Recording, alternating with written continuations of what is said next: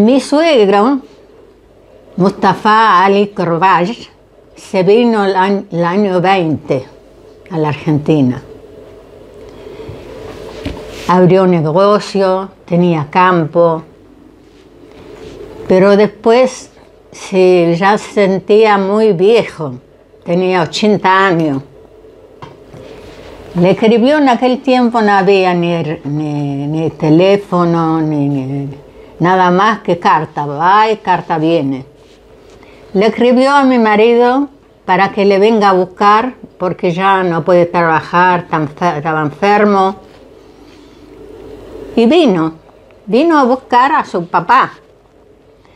Pero resulta que empezó a trabajar, vio que el padre tenía campo, tenía negocio, tenía camión y le gustó.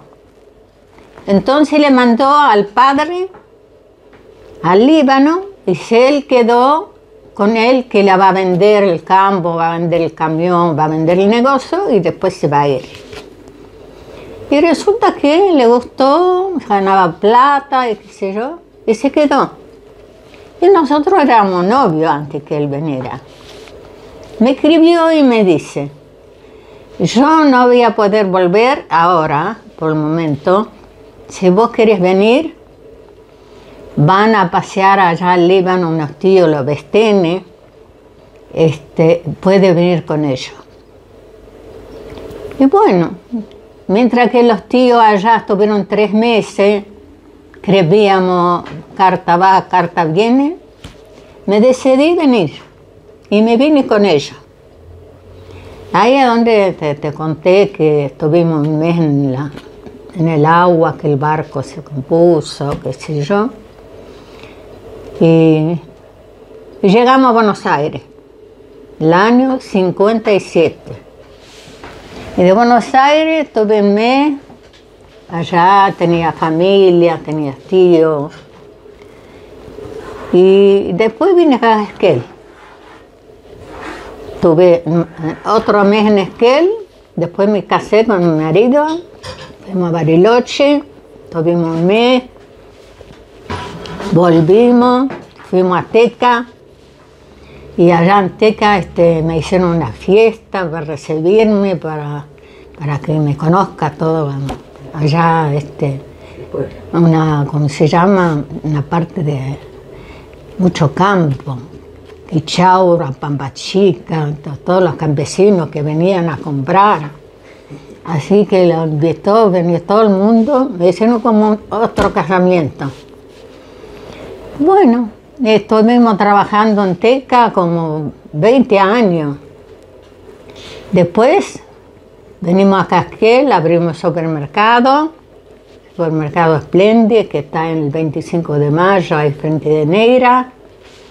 También le fue muy bien el primer supermercado que se abrió acá en Esquel. Y bueno, después viajamos al Líbano, dejamos un tío encargado de supermercado, eran chicos, Adelita y Eduardo. Y estuvimos allá en el Líbano también como dos meses.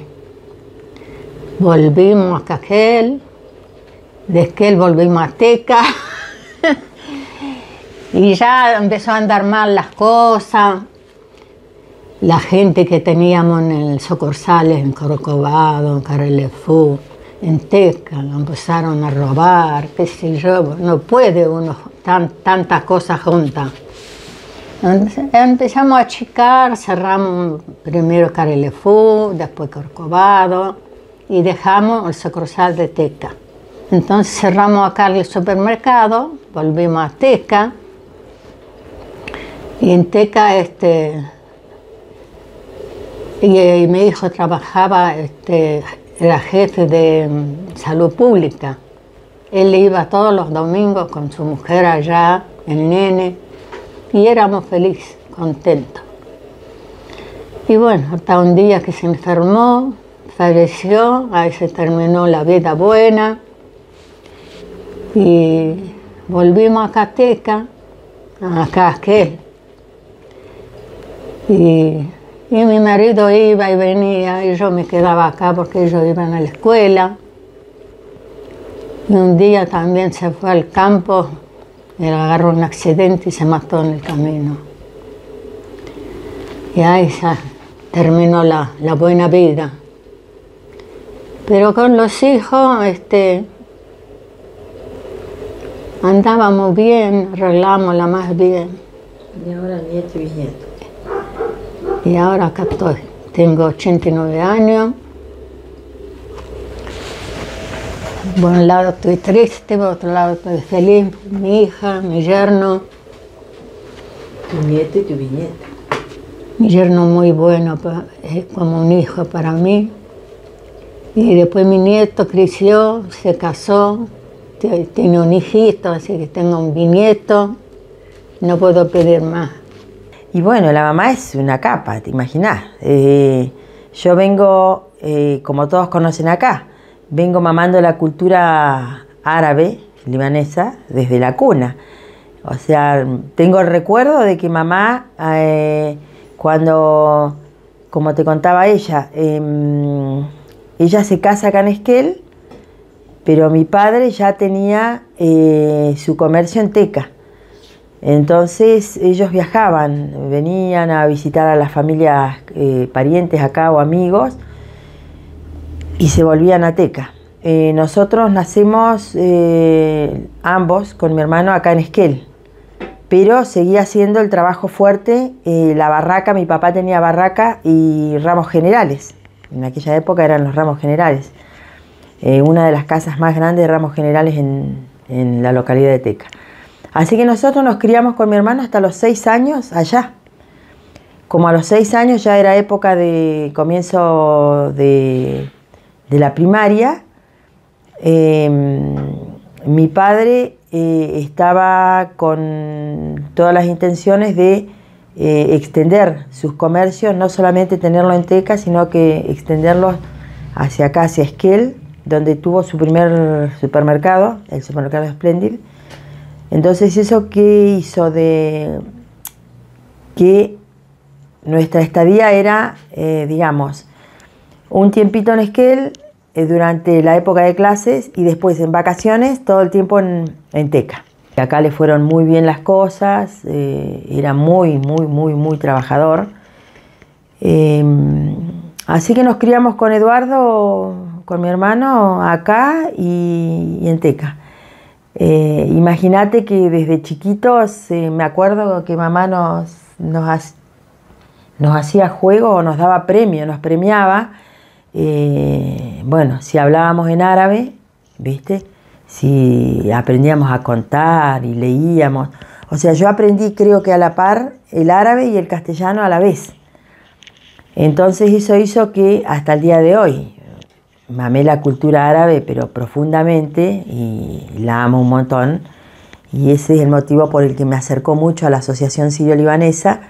Y desde que la presido, bueno, el objetivo fundamental de la institución es mantener viva esas raíces y mantener viva la cultura árabe. Así que, bueno, lo hago con mucho conocimiento, con mucho cariño, con mucho amor. Eh, y bueno, es el día de hoy que compartimos la casa, compartimos hoy, incluso está haciendo una comida árabe. Estamos haciendo unos kusa, le decimos kusa, que son zucchini rellenos, viste, con arroz y, carne. Así que, bueno, todos los días vamos aprendiendo, compartiendo. eh, y bueno, es muy lindo, es muy lindo poder eh, tener ese sentimiento tan, tan arraigado en uno, ¿no? Y que hace de que podamos, bueno, compartirlos también con la comunidad, con la gente de la colectividad. Y bueno, y acá estamos, todos los días haciendo algo por, por mantener viva esa cultura. Sí, fui tu maestra, ¿viste? Me acuerdo. Sí, yo me jubil- estoy jubilada de docente, eh, siempre estuve en el área especial que le llaman, que es el área de música. Eh, yo me recibí, mamá cuando vinimos acá a Esquel, eh, enseguida me, anotó en, en piano, en, en un taller de piano. Y bueno, hice 11 años de la actividad hasta que me recibí de profesora. Cuando me recibí de profesora eh, y ya terminé la secundaria, ya era profesora, ya habiendo terminado la secundaria, ya me había recibido de profesora de piano. Estudié durante 11 años y eso me habilitó a que, bueno, en aquella época era por concurso, de entrar por concurso a, poder ejercer la actividad en alguna de las escuelas de Esquel. Y bueno, fui titular en la escuela 54, en la, perdón, en la escuela 24, donde vos eras mi alumna, y en la escuela 76. Así que, bueno, fue una etapa muy linda de vida, donde pude compartir, bueno, con las colegas. Bueno, hoy me encuentro con todo, como con vos, con todos mis exalumnos, ya con su familia conformada. Me da mucha alegría. Hay muchos que se han inclinado por la música, que eso también eh, los aplaudo, porque realmente yo disfruté mucho, disfruté mucho de mi trabajo en la escuela como docente. Así que fue una etapa muy linda de vida Hoy sigo, bueno, más allá de jubilada, sigo mm, eh, con la actividad de la Asociación Sirio-Libanesa y bueno, y compartiendo con la comunidad todos los eventos, viste que todo lo que hace, estamos muy relacionados con lo social, con lo cultural, así que es un combo muy lindo que me agrada y que bueno, me gusta compartir mi tiempo justamente haciendo esa actividad. Y sí, sí, realmente en la vida, bueno, más allá de que uno está bien y que es muy linda, em, bueno, me han tocado pasar por momentos bastante críticos. Eh, tuve dos accidentes bastante complicados, uno en el año 87 y uno en el 93. Bueno, fueron accidentes muy graves, muy complicados, de que, bueno, me hicieron estar inhabilitada durante un tiempo bastante prolongado eh, motivo por el cual no pude volver a la escuela durante años. Eh, tuve incluso que estar adscripta a otra institución para poder continuar trabajando. Y bueno, viste, esto hizo de que por ahí mm, me, me tenga que separar o por ahí de armar nuevos núcleos de trabajo donde, bueno, más allá de que es igual agradable, pero me cambió un poco la vida y bueno, y me eh, pasé una etapa bastante, bastante complicada, ¿no? Lo pudimos superar, gracias a Dios. Eh, fueron tremendos, fue en el año 87 eh, y en el año 93. Pero bueno, después de aquellos malos momentos, bueno, otra vez me encaminé, bueno, pude retomar mis actividades con, en forma normal hasta el día que me jubilé y bueno, y acá estamos. Eh, y nosotros justamente estamos abocados desde lo institucional, me refiero a la Asociación Sirio-Libanesa, estamos permanentemente en contacto con toda la comunidad, ayudando con nuestro espacio físico a que la gente se acerque, a que pueda utilizar nuestro salón, a que se realicen actividades culturales y sociales, está full, estamos trabajando muy bien, así que siempre apoyando al que puede, bienvenido, y el que no puede también. Así que eso también me, llena el corazón de, alegría, ¿no? De alegría me hace muy bien, me hace muy bien. Me hace muy bien colaborar con la gente, ser solidarios con aquellos que, no pueden. Eh, bueno, y eso es una actividad muy linda y que, bueno, paso mucho tiempo, la mayor, mirá, comparto, pobre mamá, la dejo sola acá a veces y tengo... Sí, está todo el día en la, a la mañana y a la tarde. Y a veces cuando hay eh, fiesta, actividades en la noche también. Parece a la una o dos de la mañana. Yo que usted la acompaña. Ah, sí, sí. Sí, me acompaña, ¿no? Cuando hay actividades gastronómicas, viste que hay que hacer eh, comidas o hay que hacer una cena, que yo siempre está firme. Ella y un montón, un grupito de su edad eh, que colaboran mucho, sí, sí. Y es lo mejor que le puede pasar a un hijo, tener a la mamá a esta edad y una gran compañera. O sea, ella, como yo te digo, acá en la casa es el, bueno, es la que dirige la batuta, es la que cocina, es la que, bueno, tiene sus tiempos, lógicamente, eh, pero bueno, poder compartir con ella, mirar la televisión, eh, bueno, estar desde la mañana a la noche, eh, bueno, pensando en qué cocinamos hoy, qué vas a cocinar. Por lo menos almorzamos juntos y cenamos juntos. Sí, y ella hoy te tocó hacer una comida rica, que la elegí yo y ella me la hizo. Ah, van sí. Sí, sí, no, en realidad ella me, me, dice ayer, tenés que ir a hacer, comprame esto, esto, esto y esto. Y yo fui a comprar y bueno, me gustó también traer unos zucchini que me encantan como los hace.